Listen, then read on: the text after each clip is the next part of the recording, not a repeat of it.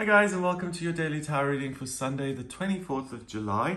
Thanks for joining me. I'm going to use the Tarot of the Spirit World for today's reading.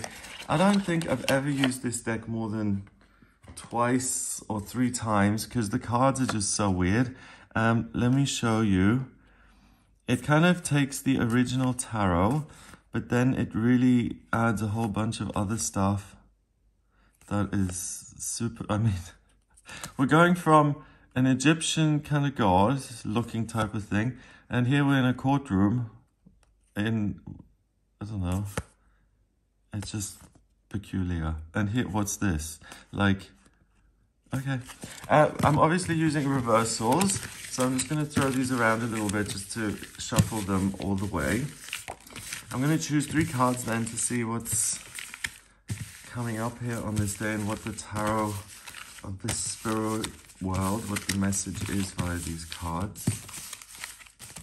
You know, I don't think you have to particularly like a deck to use it. I think as long as it's a different take on the tarot, it's useful. Like, you know, when I used that Ciro Marchetti deck or whatever, I really was like, oh, these are so hideous and blah, blah, blah. But the joke's on me, actually, because I looked this morning at what deck to use, and I've got three decks by Ciro Marchetti. So, yeah, I'm the one who bought them all, so whatever. Anyway, let's see what these cards want you to be aware of here on Sunday. So first card is the Fool in reverse. Okay. Then we've got the Chariots. Isn't that like uh, um, E.T., where the kid um, rides his bike in front of the moon? And this looks like a totally different story. It looks like of mice and men or something. And what have we got here? The King of Swords. Okay. Yeah, this has always thrown me because there's a spirit in each in each um, card. So it's like the herbal tarot with, with a herb adding extra meanings. And here we've just got a ghost as an extra. But I don't, okay, so let's see. Okay, so that's interesting. All right, so the fool here in this case, we've got a scientist who is channeling some sort of um, greater scientist from the past, and he's channeling that information in order to, to um, invent something amazing here now. Um, the fool is usually a young man that's walking along and he's got a backpack or, or a kind of little lunch pack and he's someone who's got a dream and a plan, but who doesn't focus on the details, right? So the foolishness isn't that there's a sense of motivation and drive. That's the good thing. The foolishness is that there's an unwillingness to to to look at all the details and to consider what um, consequences your actions are going to have. And it's similar here because we've got the fool. He's just listening to this disembodied spirit here. Oh, he's also got his little lunch pack, but then he's got these these um, particles floating in his hand. So I'm interpreting that as some sort of past scientist. And he's just channeling the information that's being given. He's not asking, is this a good invention or is it going to destroy humanity? You know, so by not focusing on the details, that's a real problem. The card is in reverse. So the message I'm getting is that there's a lack of motivation. And what you're actually good at is focusing on the details. So I don't think you're interested in particularly starting something new today, in kind of redesigning your whole life. I think you're much more interested in sorting out what already exists, like existing plans for the week ahead or um, looking at the day and making the most of it. Maybe you've got people coming over for lunch or dinner, or you're doing something here on Sunday and you're focused on getting the little things right and having uh, the best day possible without kind of trying to reinvent the wheel here. So if you're waking up on Sunday morning and you're like, okay, I'm going to brainstorm and I'm going to find the idea for the new business then it's going to be more likely that the answers come via looking at what already exists in your life and how you can build on that and, and improve upon it rather than trying to channel some sort of completely new out of new idea out of the ethers. Next, we've got the chariot. So the chariot is usually someone who's on a, obviously a chariot, and it's a, a victory lap. It's someone who uses self-will to succeed.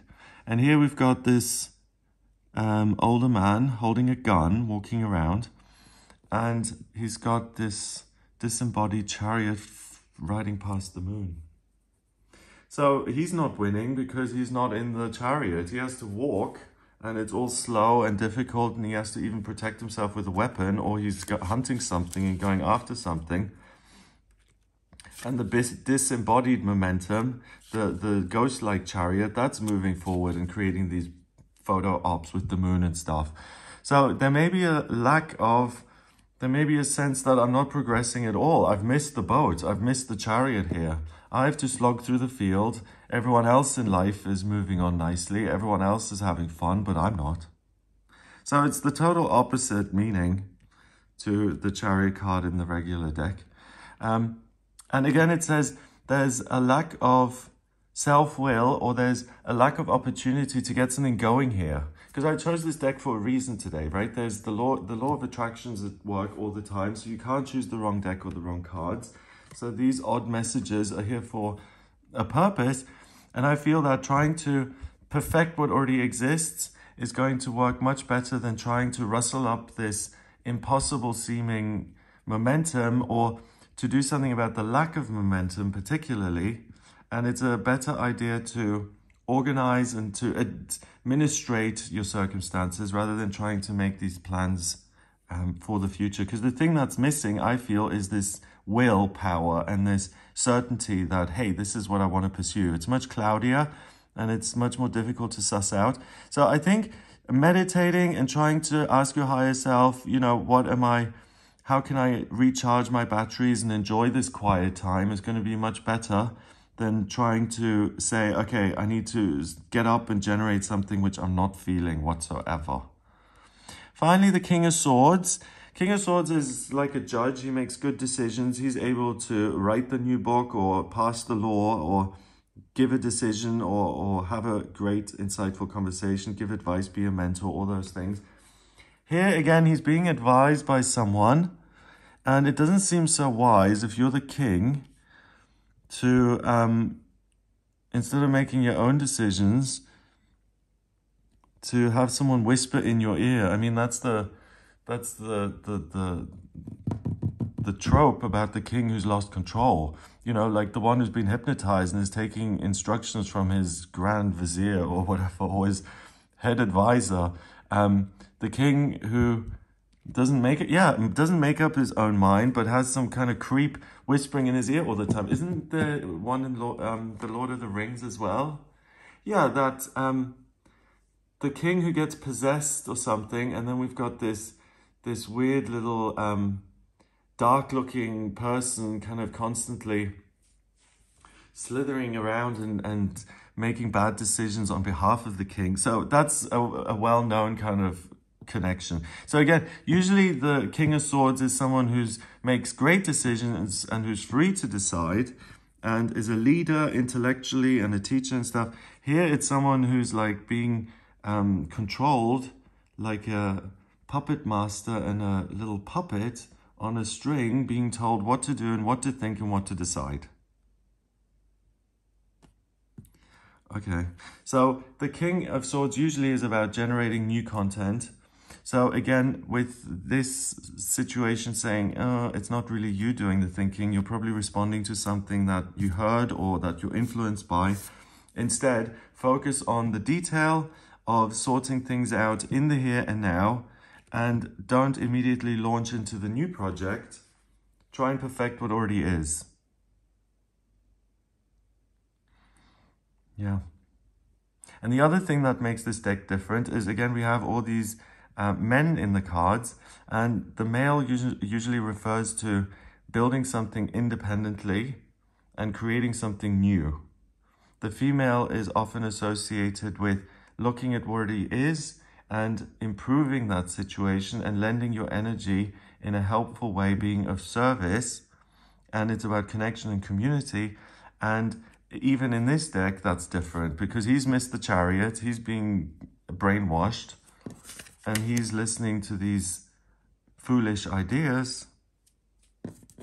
So it's kind of like no one is working independently here. And the key is to um, independently work with what already is. That's the way to dodge on, on undue influence and things that don't support you. Yeah, and to avoid making mistakes. Okay. So I, I think overall it's take it easy, recharge your bat batteries, perfect the little things in your life, and don't give yourself a hard time if you're not, yeah, reinventing the wheel here and like getting all the answers to, okay, this is the new course I'm taking, or this is the new business I'm starting, or the new relationship. Just look at what you can improve in the here and now, in your existing circumstances, and that's more than enough. Number-wise, we've got seven, and one is eight. Eight is power and strength in numerology. So it's the strength to pace yourself and to, um, oh, the strength to have, to, to look at the little things, to have the patience to improve and juggle around things that need improving and the strength to resist this urge to do something completely different just because you can't be bothered. So it's like, you know, someone who instead of cleaning their room, they're like, okay, let's just move house and give up on this tip. I can't sort it out anymore. It's going to be easier to move at this point. And I know that's an over the top example, but it, that's what I mean here. So you're able to face difficulties that already exist rather than being irresponsible and turning your back on them and saying, okay, let me try something totally different. So face the music is better than running off and trying to do something that's totally unrelated. Okay, I hope you have a great day. If you'd like a personal reading with me, please get in touch via my website. It's gregoryscott.com. On the front page, click on book your reading to audio reading with me. I use the tarot, astrology, and numerology in my... Did I already say that? Yeah, I combine the numbers, the cards, and the astrology to give me an overall picture of you. The astrology chart, I take your place of birth, date of birth, and time of birth. That gives me a snapshot of the sky at the moment you were born. And if you have questions about life purpose or work or talents or relationships or anything at all, really, it gives me a really great blueprint of who you are so I can answer those things. If you like this video, then give it a thumbs up. Please hit subscribe and share the video online. Have an amazing day, and I'll speak to you tomorrow.